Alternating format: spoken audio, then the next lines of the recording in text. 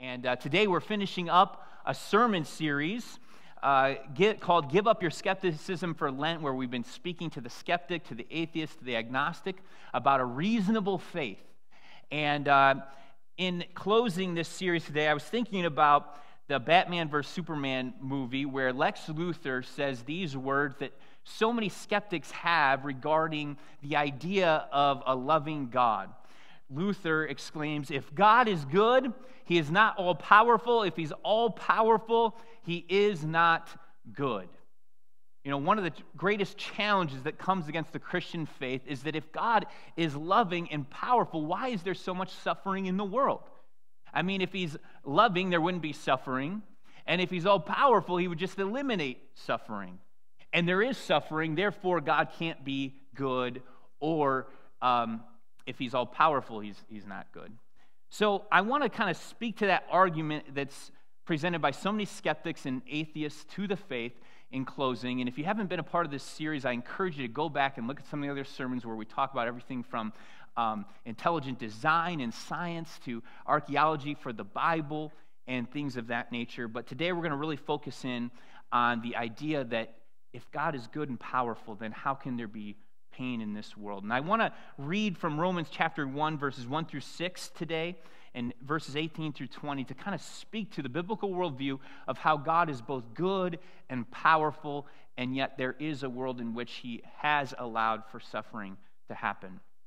Here we read the Apostle Paul is writing this letter. He says, Paul, a servant of God. And he says literally there, a slave in the Greek. I'm a slave of Jesus Christ and I've, I've been called by him to be an apostle, which just means I've been sent by him.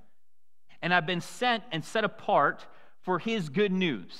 That's what he called me to. He called me to receive his good news of the forgiveness of sin, that he is a risen Savior, that he came to rescue the world, and now he sent me on a mission to spread that good news of who he is. This gospel is something that he promised beforehand through his prophets in the Holy Scriptures. It's been prophesied about all through the Old Testament that he would be coming. Verse 3 regarding his son, who as to his earthly life was a descendant of David, whose throne was to go on forever, as prophesied in Samuel through Jesus, and who through the Spirit of holiness was appointed the Son of God in power, as shown by his resurrection from the dead. He is the Lord. He is Jesus Christ, our Lord. And, and many people will point out the fact that Paul is quoting an ancient creed here that popped up very early on in the churches of who he was, that it, it attests to the fact that he was looked at as God, that he indeed rose from the grave within 15 to 30 years of that resurrection, where all the eyewitnesses would have still been alive. Verse 5 Through him, we have received grace and apostleship to call all people, not just the Jews, but the Gentiles as well, to the obedience that comes from faith for his name's sake. And you also are among those Gentiles who are called to belong to him, to come and belong to Jesus like I do. He goes on then in verses 18 through 20. The wrath of God is being revealed from heaven against all the godlessness and wickedness of people who don't come to him, who instead suppress the truth by their wickedness since what may be known about God is plain to them because God has made it plain or evident to them. For since the creation of the world, God's invisible qualities, his eternal power and divine nature have been clearly seen, being understood from what he has made, so that people are without excuse to reject this God. You know, we cannot pick up a history book, you cannot turn on the news without seeing clearly the depravity of man and his nature. That man is continually about money, sex, and power at cost to other people. And from Romans chapter 1, verse 18, all the way to chapter 3, verse 20, Paul is going to talk about the sinfulness of all of humanity. He's going to diagnose us as heart sick for the purpose of turning to God for healing. He's going to throw us all in the same camp as people who are depraved by nature, who need God's healing grace at work in order to be made right with Him as a gift that He provides. In the words of Warren Wiersbe in his uh, Bible exposition commentary, the Bible's worldview is not that human man, or humankind started low and ended up evolving high, but rather the Bible teaches this de evolution in which humankind started high in the image of God and then devolved into something low because of sin, where we have become very carnal, living out of our lower base instincts, very animalistic in nature instead of divine in nature. And so, God, who knew no sin, became like us and became sin that we might become like Him, the righteousness of God. This is the basic concept that the Bible brings. And so I want to work backwards through this passage in Romans today to talk about God's goodness and his power that atheists claim can't go hand in hand with the suffering of this world. The Apostle Paul says again in verse 18 the wrath of God is being revealed from heaven against all the godlessness and wickedness of people. It's being revealed right now. We know there's a judgment to come, but God is already at work in his judgments on the earth right now, Paul says. And I want to speak from this idea of God's judgment as to how God is both good and powerful. There's a passage in the Old Testament about God's active judgment against the Canaanites that skeptics and atheists love to point out as the reason God is not good. To speak to this judgment that Paul is getting, and I just want to use this Old Testament example. And, and it's an example that atheists and skeptics love. Because in this passage in the Old Testament, God calls the Israelites to eliminate the Canaanites.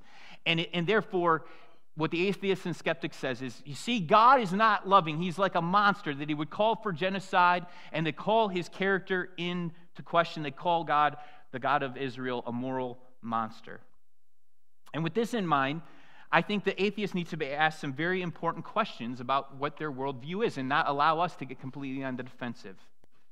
So I put on the overhead some questions that we should ask the skeptic for them to consider with something of this nature about God's judgment, showing He is all powerful and sovereign, and how it actually can show His goodness. So, first of all, for the skeptic, the question is if there is no God, then why is any atrocity wrong to begin with? Right? If atheistic naturalism is true, then there is no free will. We're just automatons you know, it's a dog eat dog world. And just by atheism's definition, there is no point to life. And Hitler's Holocaust and things of uh, the Canaanite genocide really isn't a problem. In fact, it makes sense because we're just physics and chemistry doing its thing. We're just matter in motion. We've just evolved. And the strong eat the weak. And so, first of all, why are you upset by this? Your worldview says that this isn't even wrong. You can't by nature say it's wrong. Because to say something is wrong is to say something is right, which you need a transcendent, objective, moral compass to look to, such as God, to even discern between right and wrong. So you're violating your own worldview just by pointing out that it's wrong. Frank Turek here says this. He says, Atheists steal from God to argue against him.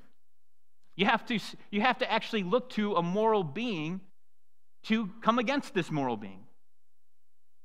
Second question that we should ask is Is this judgment of God, as seen in the Canaanite story, was it just arbitrary? Was God, is God just like a bully? This cosmic bully is just, you know what, I'm just going to eliminate this people for no cause. I just am in a bad mood today, and I'm just going to zap them like Zeus.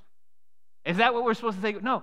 Of course, we never step back and ask the atheist, do you even, have you read this and do you have any context for what you're saying?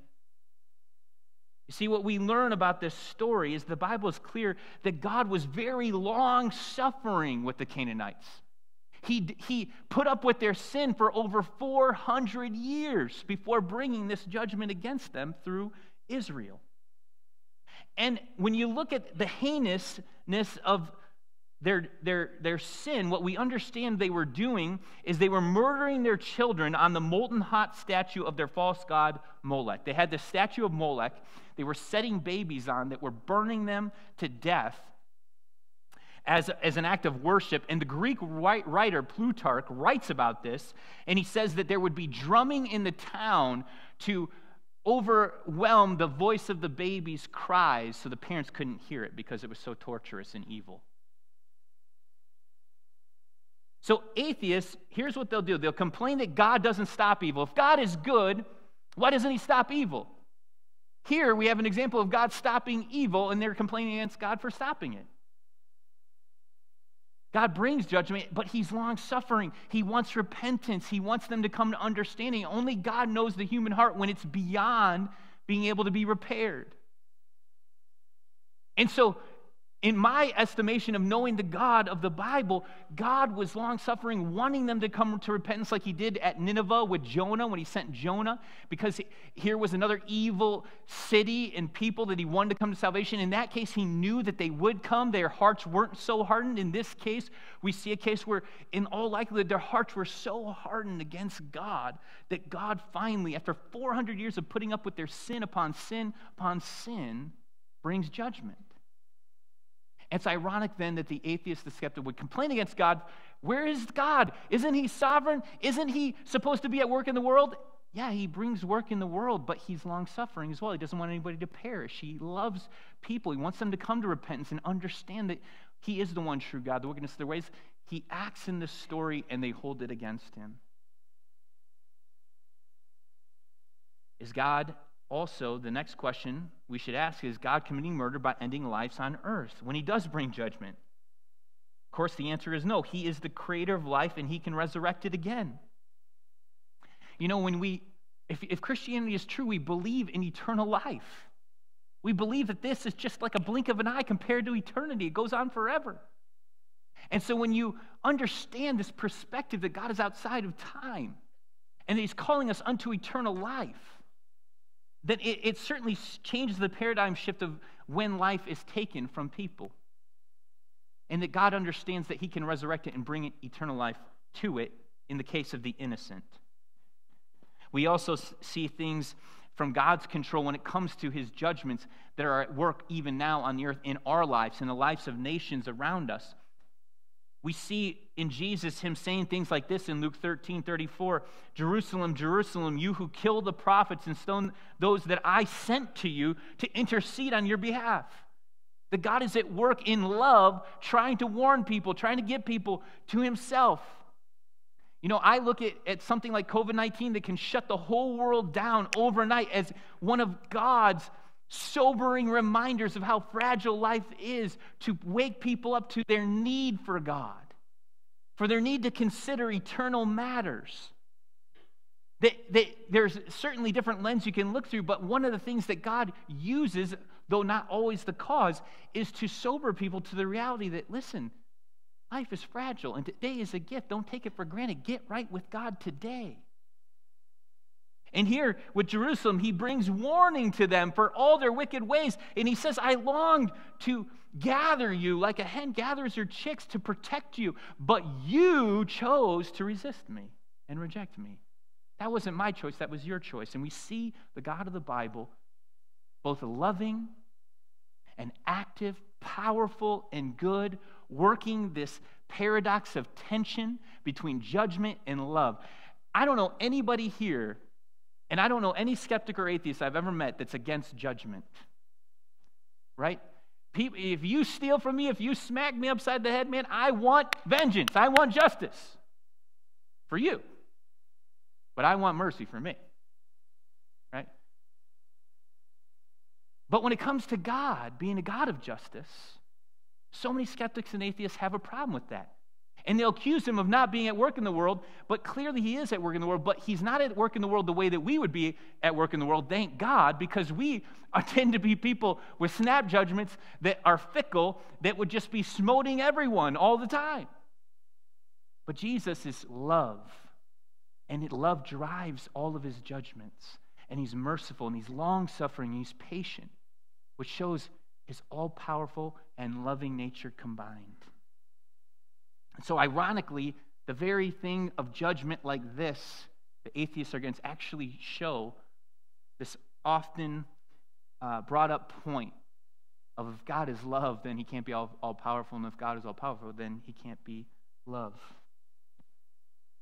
Further point God's judgment assumes here and his judgment's clear throughout the Bible and all of human history that he's at work, including with Jesus, who's calling judgment. In fact, Jesus prophesied judgment in AD 70 before his crucifixion that would come on Jerusalem because they resisted his protection. They didn't receive him into their lives. So he turns them over to the principalities and powers of darkness. That that this by nature reveals that God gives free will.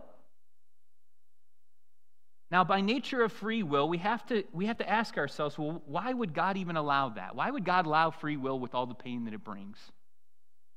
Well, if God is love, then certainly love requires a choice. God doesn't want just a bunch of automatons walking around being forced against their will to do things they don't want to do. Because by nature, that is not love. And so, if there's going to be love, there has to be free will. And if there's free will, then for free will to be free, by nature of it, it requires God to allow people to choose against Him and against His will. And so, when the skeptic and the atheist they cry out against all the, the wrong in the world, they are first of all saying they're borrowing from God to accuse Him of wrong. It's like, well, who are you to say there's wrong in the world? Everything's just subjective to you. Why is it wrong? I mean, there's no God, there's no purpose, there's no meaning, it's just an accident. We don't have free will. By nature of your worldview, it's not wrong. You can't say anything's wrong. So, first of all, why is it wrong? Second of all, if God is love, then God, in his sovereignty, has chosen to allow for us to choose against him, which causes a lot of this pain. So, once again, when speaking to the atheist, to the skeptic, really it's important for them to consider what their own real worldview requires, which is an inferior race versus a superior race, the strong eating the weak, and, and terrifyingly so when we look at the 20th century of, of characters like Mao and Stalin, Hitler, they spoke in those terms. And today we see even in Russia with Putin, for the first time, I just heard this recently, him talking about the superior race and the inferior race. That is what is natural mindset to atheistic macroevolution. And so we all then want God's judgment to come. and God's judgment is coming. But in his love, he's also wanting to be patient and long suffering because he has an eternal perspective and he doesn't want anybody to perish apart from him. And so, my point is not to answer all the difficult questions in life perfectly, but to show that our faith, our worldview, it's reasonable. It's more reasonable than the atheistic skeptic worldview. We, we can't figure out God. God, if we're trying to put God in a box and say, I got you figured out, then he's not God. But we can use the mind that he gave us of reason and logic to show that we have a reasonable faith. And in fact, to set yourself against him is to have more faith than the Christian worldview. So I want to cover a couple more things that oftentimes we never consider when it comes to this idea of judgment. Because when we talk about God's judgment and the wrath of God that Paul is speaking about here, there is this continual thread throughout the New Testament, this idea of God turning us over. God turning us over to what we really want, other than Him and His will and His protection. And that within the laws of His creation, there are certain things we're going to reap that you reap what you sow, that God will not be mocked, that if you want to go your own way and play your own God and violate his principles, there are negative things that come against you, that come with that, that grieve God, that keeps him, like the prodigal son, waiting for you to come back from the mud pen that you're, you're bound to find yourself in. And so let's just talk about this idea of the wrath of God, the judgment of God, the suffering of God, that so many people struggle with. Well, if God is love, then how can this be? So I, I, I, got this from apologist Tim Stratton, freethinkingministries.com. You can go there for some great articles for you who are looking for good stuff. Wow, the Lord just put me to the test. I'm going to use the overhead, which is perfect. So, oh, thank you, Troy. Wow, look at you. So, first of all, suffering whether it be moral evil that leads to suffering, or natural evil that leads to suffering, or gratuitous evil that leads to suffering, it always points us to the thing to the way things ought to be. one of the things that is a gift in disguise when you get on the other side of suffering, and nobody wants suffering. And by the way, the Apostle Paul himself said at times in his ministry that he dreaded life itself. He didn't want to continue on, he just wanted to go home to be with Jesus. Life, suffering is going to come in this life because it's a fallen world. And the whole Christian message is that God is restoring the world, that God is going to bring good back, that this is not our home, that this is not where our hope is, that we're longing for a new world, that Jesus has his way in. But in the meantime, what suffering often does for us is it reminds us, first of all, this isn't our home, that we shouldn't get too comfortable here. And it reminds us that, man, life shouldn't be this way. This isn't right. It's wrong when you, when you go to a funeral and you see people weeping, it's unnatural. We just intrinsically know, and Paul says this in Romans 1. He says, God has made it clear this isn't right. I'm not right. This world isn't right. And suffering has a way of reorienting us back to God to recognize wait a second, this can't be right, and, and I got to find something more than this than just live for this world. And that's important because what we find is that it's, it's, often the number one way people get to Christ. When you're in ministry and you talk to people, you say, How did, how'd you get to come to Christ? It was usually a time of crisis, a time of suffering that got them into eternity where there's no more suffering to come. The second thing to consider that we often don't is the fact that Adam and Eve, this satanic figure, which not, isn't even a proper name, by the way, this Diablos, this rebellious figure, this evil. Fallen angels, in other words, they had these suffering free states of affairs that they took for granted and they freely chose to wreck it. And, and what that can speak to us again is that there is something about the human experience that we're all inspired by that comes through loss, through failure, through suffering, that puts something deep, substance wise, a depth within us of endurance and character and strength to not take things for granted. You know, I think it was Thomas Edison, and, and I, you got to be careful. You can read too much into this with people's different stories, and I apologize if I come off offensive in any way. I know these are complex issues. But I think it was Thomas Edison that said the best thing that could happen to a child is that they're born into poverty. And what he meant by that is there's something about the human experience that when you're born into riches, you take it for granted and your depth of character is not developed. You don't end up often having a work ethic. You, you get spoiled and, you, and you're not very pleasant to be around. You feel entitled all the time. But when people have to work their way up from the bottom to the top and they have to earn it and they have to learn good character development and, and um, they got to learn how to work hard. There's something so respectable and there's so much dignity in that. And, and, and sometimes the, the best thing that can happen is to not have everything just handed to us on a silver platter. You know, people don't talk about like the GOAT. We talk about the GOAT, the greatest of all time. You know, a lot of people don't know that somebody like Michael Jordan, he missed like 65% of the last shots he took, he missed. But there was just this nature in him that wanted it and that just kept going and kept taking the last shot, anyways. And we remember all the wins. You look at somebody like Babe Ruth. You know, you think about Babe Ruth, you think, oh, this amazing home run hitter. He had more strikeouts than anybody in the history of Major League Baseball. But he kept on swinging and he kept on swinging and he kept on swinging and he ends up hitting home runs. You know, there's something that is admirable about that. There's something in us that when we go through hardship, it creates a depth and a, and a rootedness in Christ and a drive and, and a respectability and a sympathy and a compassion and a well roundedness that we can't necessarily fully understand, but we catch glimpses of the wisdom of God in allowing the world to go ahead and create the world in a world that He knew would create a lot of hardship.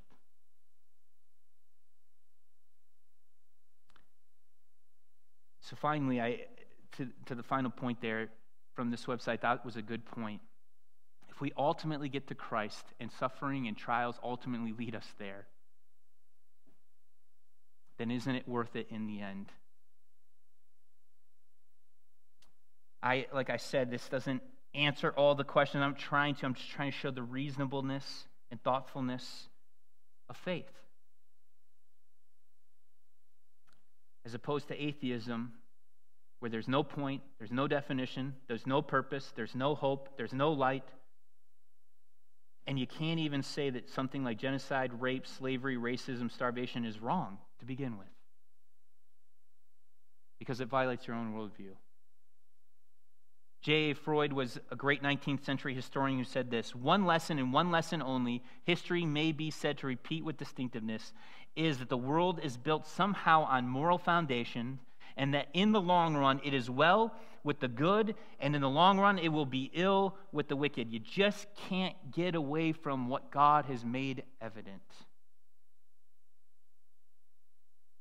You break the laws of agriculture, your harvest fails. You break the laws of architecture, the building collapses. You break the laws of health, your body fails. God has made it plain to us through our conscience, the way life operates. There's laws of nature that show order, morality, a transcendent cause, an objective moral standard that we are to live to.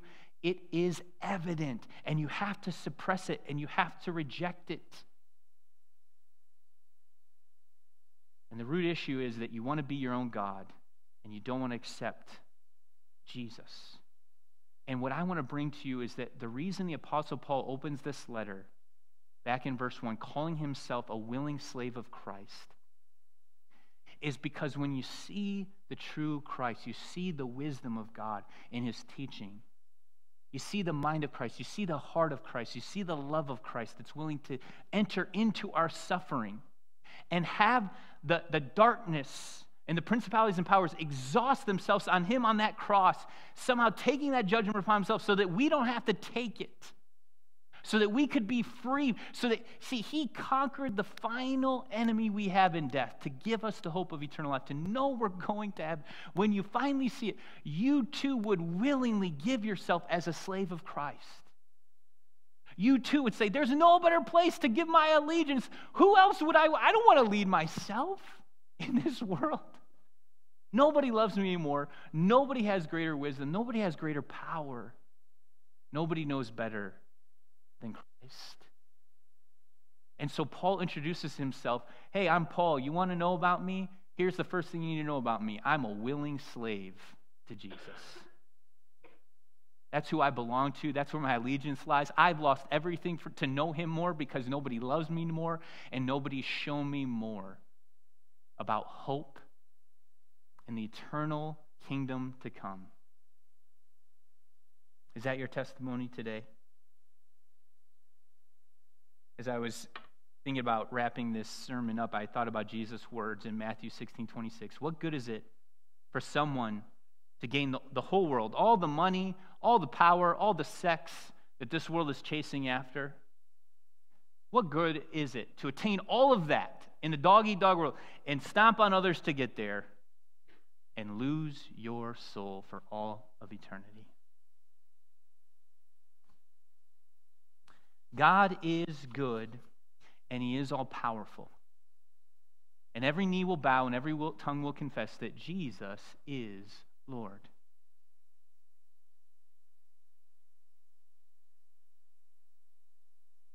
You can trust him, and if you seek him, he promises you will find him, and you will become a citizen of a new world order that's coming under King Jesus, where all the pain and suffering and sorrow is going to be eliminated.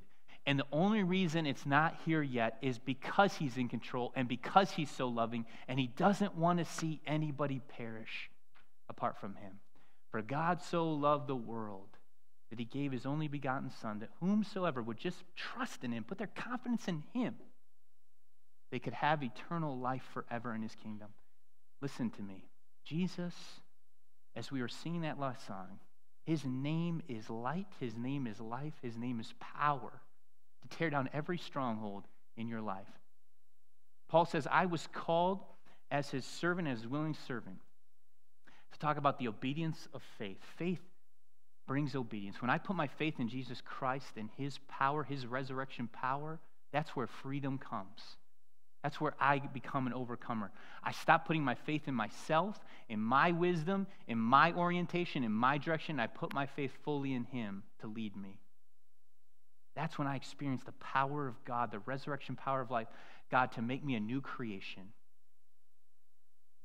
So I'll just close with this thought.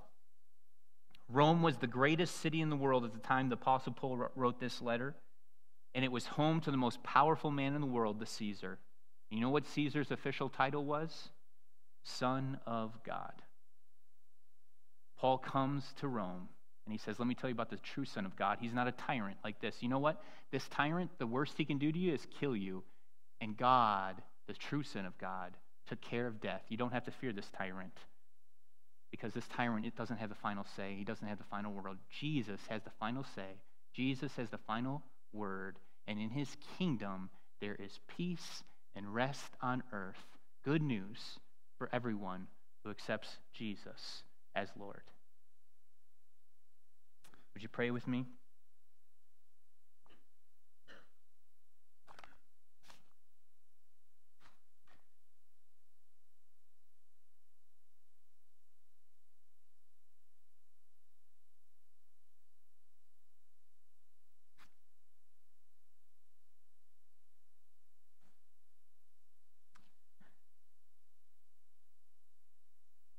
Heavenly Father, we come to you this morning once again in Jesus' name.